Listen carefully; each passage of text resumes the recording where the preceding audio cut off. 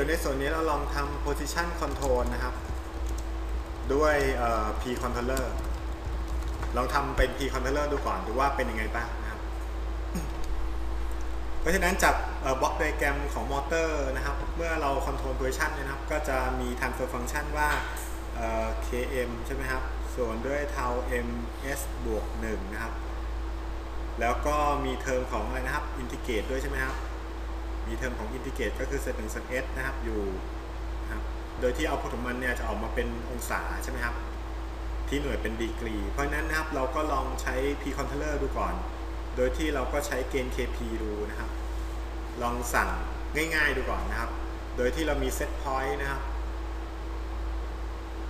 มาเปรียบเทียบกับค่ามุมที่เราวัดได้นะครับ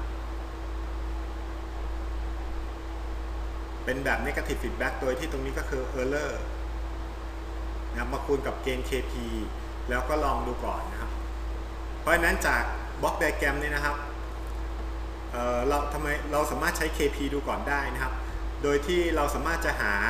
transfer function รวมของระบบได้นะครับ ก็คือปกติแล้วเราสามารถจะยุบบล็อกได้นะครับ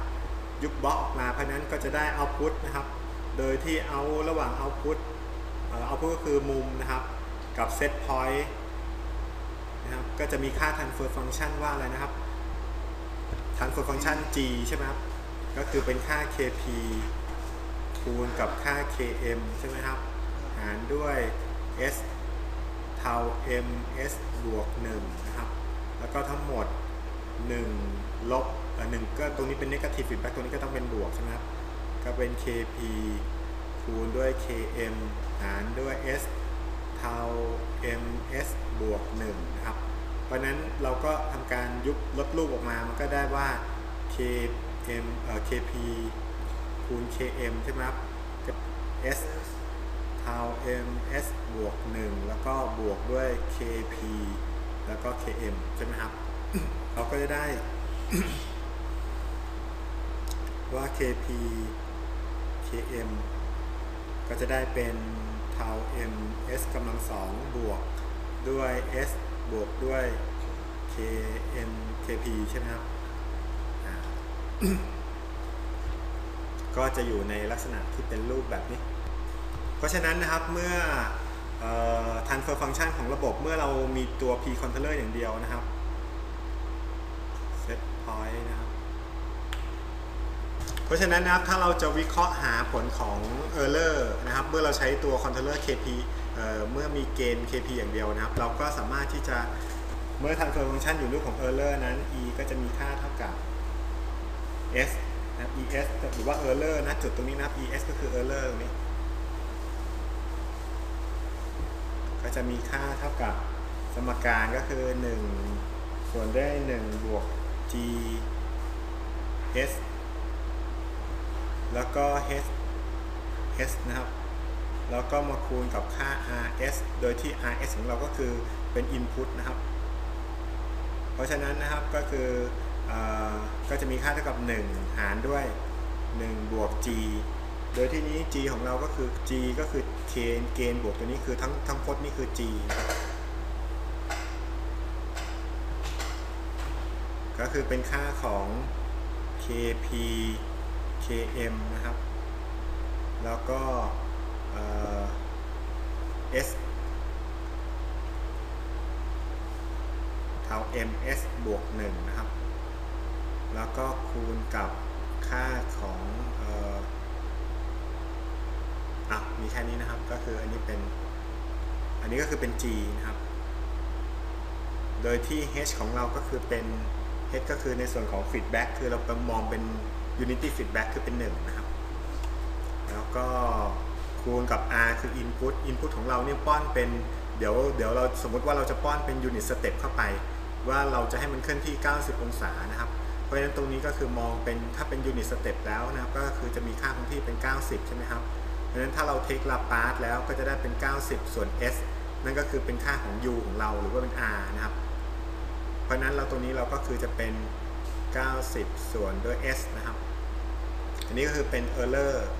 ที่เป็นในรูปของ continuous นะครับ เสร็จแล้วเราจะทำการหา steady state error นะครับ วิธีการหา steady steady state error นะครับ หรือว่า ESS นั้นก็คือทำการ take limit เข้าไปโดยที่ให้ s เข้าใกล้ศูนย์นะครับ เมื่อเวลาผ่านไปเรื่อยๆนะครับ t เข้าใกล้ infinity นะครับ แต่ s จะเข้าใกล้ศูนย์นะครับ เราก็ take limit โดยที่ลิมิตตัวนี้ก็จะเป็น s คูณกับ es นั่นเองนะครับ ซึ่งเมื่อกี้ es เราหามาแล้วนะครับ เราก็คูณเข้าไปด้านบนนะครับ เพราะฉะนั้นนะครับ เราก็คูณ s กับพจน์ทั้งหมดนะครับที่เราหาเมื่อกี้นะครับเข้าไปนะครับ เพราะฉะนั้นสรุปก็คือเราก็จะมี s ตัวหนึ่งมาคูณเข้าไปนะครับ ก็คือสมมติเราอันนี้เป็น s คูณ es นะอันนี้ก็เป็น s คูณ es เพราะนั้นมันก็จะตัดกันใช่ไหมครับ เพราะฉะนั้นเราก็ take limit เข้าไปนะครับ take take เอ่อ ดี๋ยวก่อนที่เราจะ take limit เพราะนั้นเทอมตรงนี้ก็จะเหลือในรูปของออก็จะตัดกันก็จะเหลือ 90 นะครับ ส่วนด้วยเเราก็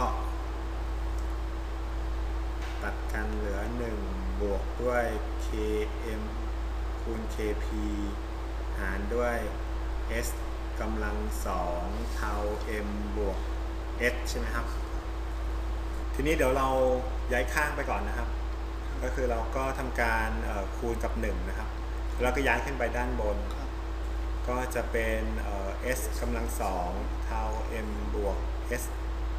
แล้วก็คูณกับเอ่อ90นะครับ s กำลังสองเท่า m บวก s แล้วก็บวก km บวก kp นะครับแล้วก็แทนศูนย์ แล้ว ก็แทนค่าเข้าไปนะครับ แทนค่าเข้าไปก็คือเราก็แทน 90 เข้าไปในนี้แล้วก็ s กำลังสองเท่า m บวก s 90 นะครับ แล้วก็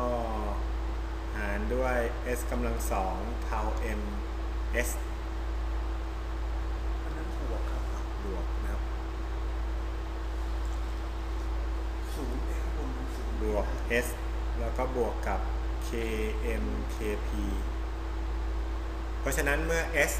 เข้าใกล้ในส่วนของ s เข้าใกล้ศูนย์นะครับข้างบนคือศูนย์ s เข้าใกล้ศูนย์นั้นในส่วนของพจน์ข้างบน เพราะฉะนั้นนะครับถ้าสมมติว่าเราแทนเรา take limit นะครับ ESS นะครับ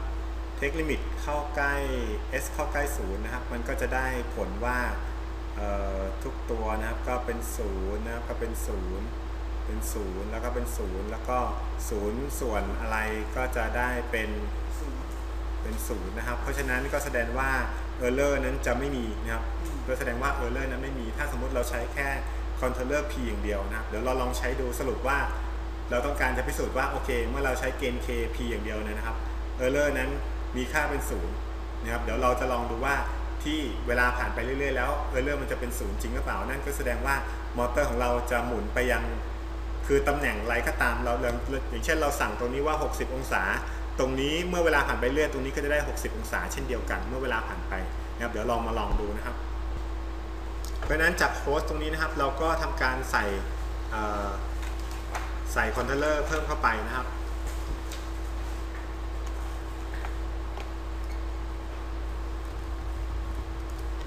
เราก็อ่าน position มาได้แล้วนะครับ แล้วเราก็มาคูณกับค่า p นะครับ ก็คือเราก็เปิด mat operation นะครับ ที่เป็นในคำสั่งลบนะครับ เราเอาคำสั่งลบมาอยู่ใน mat operation นะครับ เราทำ error ก่อนนะครับเพราะบล็อกไดแกรมของเราที่เราจะวางนะครับ ก็คือบล็อกไดบล็อกไดแกรมของเรามี set point ลบกับค่า process value ก็คือค่า position ของเรานะครับ งั้นตัวนี้ผมมองว่าตัวนี้คือ set point แล้วกันนะครับ set point set point ตรงนี้นะครับ ผมขยับบล็อกตรงนี้ไปหน่อยหนึ่งนะครับ ตัวนี้คือ set point นะครับคือ set point set point นั้นมาลบกับค่า แล้วก็บล็อกลบมานะครับ ต่อเข้าไป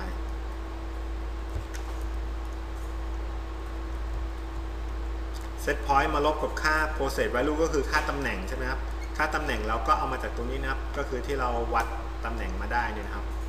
อันนี้ก็คือเป็นค่า PV นะครับ คือค่า position นะครับ ที่อ่านได้ พอเราได้มาปุ๊บนะครับ ตรงนี้ก็จะเป็นค่าอะไรนะครับ เป็นค่าในส่วนของ error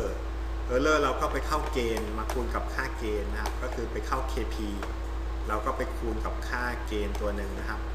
แล้วก็ใน mat operation เนนะครับ มันก็จะมีค่าที่เป็นเกณฑ์อยู่ แล้วก็ gain มาคูณเข้าไปครับ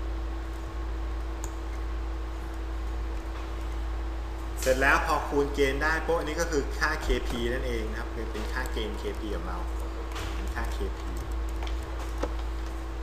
พอคูณได้ปุ๊บเราก็ส่งออกไปยังตัว board drive เลยนะครับ ค่า set point ตรงนี้นะครับ ผมก็จะเอาค่า set point ไปพอตเทียบกับค่าตรง b ตรงนี้เราเปลี่ยนนิดนึง ก็คือเราไปวัดเทียบกับโพซิชันที่อ่านได้นะครับ ก็คือ ab เทียบกันนะครับเพราะฉะนั้นเราก็ส่งออกไปนะครับ พอส่งออกไปปุ๊บนะครับ มันก็จะเข้าไปในส่วนของ target target นี้เราก็แก้ไขเรียบร้อยแล้วนะครับ โอเค เราก็ลองทดลองได้เลย target นี้เราไม่ต้องโหลดแล้ว เพราะเราเคยโหลดไปแล้ว เพราะฉะนั้นเราก็ลองทำการรันทดสอบได้เลยนะครับ โดยที่เราก็เปิดกราฟตัวนี้ขึ้นมานะครับ กราฟตรงนี้เราไม่ใช่ speed response แล้วเป็น position response แล้วนี้นะครับ เป็น position response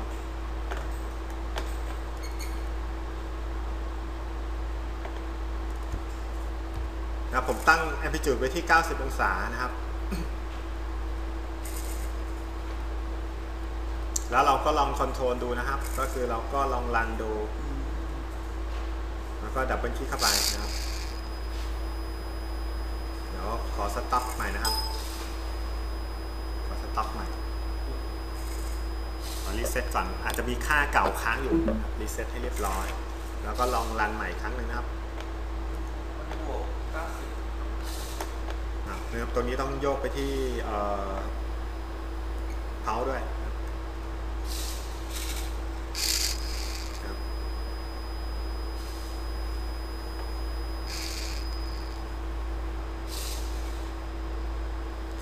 ทีนี้มักเราเปิดการ์ดตัวนี้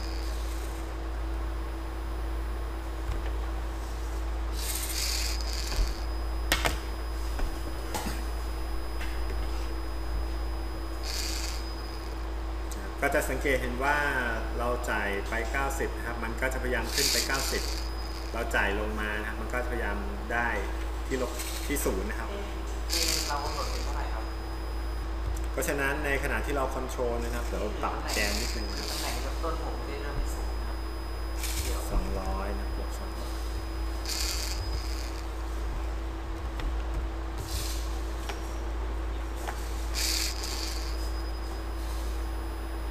บวกกับลบ200นะครับแล้วลอง control ดู อันนี้เราใส่ set point ไป 90 นะครับ แล้วก็กลับมาศูนย์ แต่สังเกตว่าจะมีปัญหาอยู่ตรงที่เวลาที่ขึ้นไปบางครั้งมันก็จะใกล้ 90 บางครั้งก็จะแบบไม่ใกล้บ้างนะครับ นั่นก็เป็นเพราะว่าในระบบของเรานะครับหรือว่ามอเตอร์ของเราเนี่ยมี friction อยู่ มันไม่สามารถจะเอาชนะ แล้วก็บางทีมันก็เกินสังเกตในการ run แต่ละครั้งด้วยนะครับ เพราะว่าเราไม่ได้คำนึงถึงในส่วนของผลที่เป็นในเชิงของ friction ซึ่งในการ control position แล้วเราจะต้องคำนึงถึงผลตรงนี้ด้วย ก็จะเห็นว่ามันจะมีปัญหาของ position ที่มันยังมี error อยู่ ทั้งที่ในทฤษฎีเราพิสูจน์แล้วว่า ถ้าเราใช้แค่ P อย่างเดียวนะครับ มันจะทำให้ steady state error นั้นหมดไปได้ แต่ความเป็นจริงแล้วมันไม่สามารถจะทำให้หมดไปได้นะครับ เพราะว่าหนึ่งก็คือเราไม่ได้คิดคิดผลของ friction ของตัวมอเตอร์นะครับ ที่ตัวมอเตอร์เนี่ยมันมี friction อยู่ค่อนข้างจะเยอะพอสมควรนะครับ ซึ่งค่าดูตี้น้อยๆเนี่ยนะไม่สามารถจะเอาไปเอาสามารถเอาชนะตัว friction ตรงนี้ได้